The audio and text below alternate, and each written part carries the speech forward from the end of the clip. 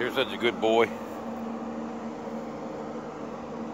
This is my old boy Diesel.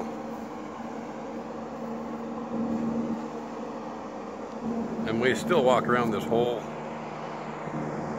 area here.